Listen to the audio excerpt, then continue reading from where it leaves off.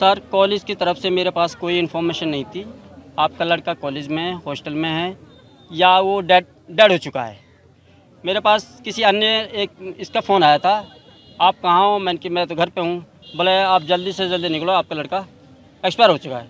वो रीज़न बोला पॉइज़न खा लिया किस वजह से?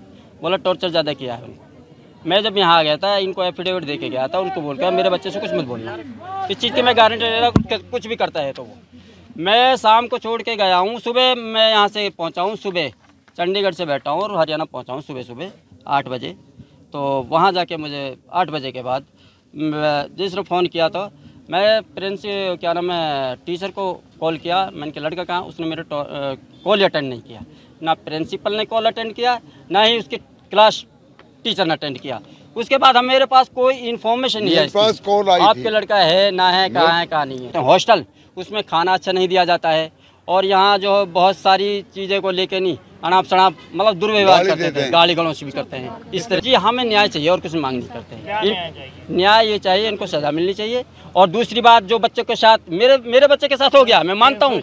लेकिन और भी और भी ऐसे बहुत बहुत सारे बच्चे हैं जो इनको यही नहीं समझता है। बच्चे तो ही नहीं कहते कस्टडी में बच्चे दे रखे हमने।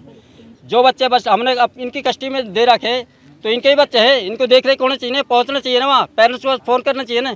आज तक इन्होंने ऐसा कुछ नहीं किया हमारे पास। मानते हैं, वो बच्चा नहीं जा रहा, लेकिन पेरेंट्स के पास फ़ोन करने से आपका बच्चा नहीं आ रहा कॉलेज में। ये तो इनका हक बनता है ना। लेकिन ये इन्होंने क्या, और मेरे बगैर पूछे इन्हें बच्चे को रेस्टिगेट कर दिया और सिक्स मंथ कर दिया, उसी डिप्रेशन के कारण। फिर मैं आया, फिर मैं दोबारा कह के उसी डिप्रेशन के कारण बच्चे ने पॉइजन ले लिया। बलजीत धर्मगोड़ा में पंजाब स्टूडेंट यूनियन सूबा बेसकत्रवा ਅਸੀਂ ਕੱਲ ਦੇ ਇਹਨਾਂ ਦੀ ਸਪੋਰਟ ਦੇ ਵਿੱਚ ਆਏ ਹੋਏ ਆ। ਤੁਸੀਂ ਦੇਖੋ ਸਰ, ਜਦੋਂ ਸਾਹ ਚੱਲ ਰਹੇ ਸੀ ਨਾ ਸਟੂਡੈਂਟ ਦੇ, ਤਾਂ ਇਹਨਾਂ ਕੋਲ ਐਂਬੂਲੈਂਸ ਵੀ ਖੜੀ ਹੈ ਇਸ ਕਾਲਜ ਦੇ ਵਿੱਚ।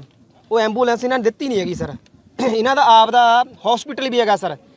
ਉਹ ਹਸਪੀਟਲ ਦੇ ਵਿੱਚ ਵੀ ਨਹੀਂ ਲੈ ਕੇ ਗਏ ਹੈਗੇ। ਸਟੂਡੈਂਟ ਕਿਸੇ ਦਾ ਮੰਗਵਾ ਮੋਟਰਸਾਈਕਲ ਲੈ ਕੇ ਜਾਂਦੇ ਹੈਗੇ ਸਰ। ਚਾਰ ਜਣੇ ਮੋਟਰਸਾਈਕਲ ਤੇ ਜਾਂਦੇ ਸਰ। ਸੀਸੀਟੀਵੀ ਕੈਮਰੇ ਤੁਸੀਂ ਦੇਖ ਸਕਦੇ ਹੈਗੇ ਆ। ਉੱਥੇ ਗਏ ਸਰ ਤੇ ਡਾਕਟਰਾਂ ਨੇ ਕਿਹਾ ਵੀ ਤੁਸੀਂ ਬਾਹਰ, ਅਗਰ 15 ਮਿੰਟ ਦੇ ਵਿੱਚ ਡੈਥ ਹੋ ਗਈ ਸਟੂਡੈਂਟ ਦੀ।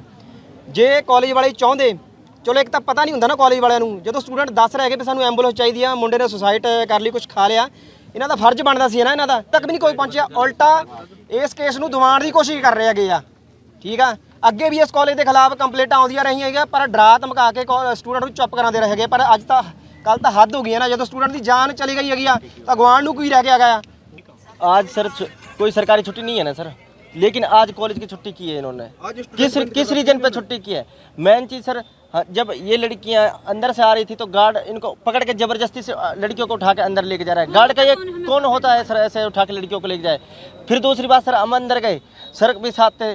फिर हम अंदर जाने के बाद में लड़कियों को लॉक लगा के रखा है क्योंकि कोई बाहर नहीं चली जाए। सबको लॉक लगा के रखा है। हमने वीडियो भी बनाई है उसकी। हमारे पास सबूत भी है सर। इधर गए इधर भी सर मतलब लॉक लगा के रखा है क्योंकि अंदर ना चले जाए अंदर से बाहर ना जाए। मैडम बैठी हैं सामने। तो सर ये इतना जुल्म तो ये अब कर रहे हैं sir. Miss Gulabsan from Haryana वो इसी चीज़ को डिप्रेशन में गया था क्योंकि उसके पापा के सामने बोला था ये डर लेता ये करता जबकि वो कुछ नहीं करता था। ये एज में आप भी से ऐसे गुजरे हो पता कि बच्चे को खुद ही इफ़ेक्ट पड़ता है और यहाँ पे इतना पर्सनल टॉर्चर किया जाता है बच्चों को बहुत ज़्यादा। और उनके पापा अगर उनके पापा पहले तो उनको कभी इन्फॉर्म ही नहीं किया कॉलेज वालों को बनता है कि पेरेंट्स को लेटर दिया जाता है कि सिग्नेचर लेकर आओ कि आपको लास्ट वार्निंग है इसके बाद आप नहीं होना चाहिए हमारे पेरेंट्स को कोई कॉल नहीं की डायरेक्ट रस्टिगेट किया ਵੇਖੋ ਜੀ ਇਹ ਜਿਹੜਾ ਗੁਰਸੇਵਕ ਕਾਲਜ ਹੈ ਇਹਦੇ ਬੱਚਿਆਂ ਨੇ ਪ੍ਰੋਟੈਸਟ ਕੀਤਾ ਇਹਨਾਂ ਦੇ ਖਿਲਾਫ ਇੱਕ ਲੜਕਾ ਸੀਗਾ ਜੀ ਆਪਣੇ ਹਰਿਆਣਾ ਸਾਈਡ ਦਾ ਆਸ਼ਿਕ ਖਾਨ ਸੀ ਉਹਦਾ ਨਾਂ ਉਹਨੂੰ ਕੱਲ ਕਿਤੇ ਰਾਤ ਨੂੰ ਸੁਸਾਈਡ ਕਰ ਲਿਆ ਸੀਗਾ ਜੀ ਉਹਦੀ ਜਿਹੜੀ ਡੈੱਡ ਬਾਡੀ ਸੀ, ਅਸੀਂ ਉੱਥੇ ਮੋਰਚਰੀ ਗੜਸ਼ੰਕਰ ਦੇ ਵਿੱਚ ਰਖਵਾ ਦਿੱਤੀ ਸੀਗੀ। ਕਿ ਉਹਦੇ ਫਾਦਰ ਸਾਹਿਬ ਤੇ ਉਹਦੇ ਵਾਰਸਾਂ ਦੀ ਅਸੀਂ ਵੇਟ ਕਰਦੇ ਸੀਗੇ। ਉਹਦੇ ਵਾਰਸ ਜਿਹੜੇ ਅੱਜ ਸਾਡੇ ਕੋਲ ਆ ਗਏ ਆ, ਉਹਦੇ ਫਾਦਰ ਸਾਹਿਬ ਵੀ ਪਹੁੰਚ ਗਏ ਉਹਨਾਂ ਦੀ ਸ- ਜੋ ਸਾਨੂੰ ਸਟੇਟਮੈਂਟ ਦੇਣਗੇ, ਜਿਹੜੇ ਬੰਦਿਆਂ ਦੀ ਗਲਤੀ ਹੋਊਗੀ, ਉਹਨਾਂ ਦੇ ਖਿਲਾਫ ਅਸੀਂ ਐਫਆਈਆਰ ਦਰਜ ਕਰਾਂਗੇ।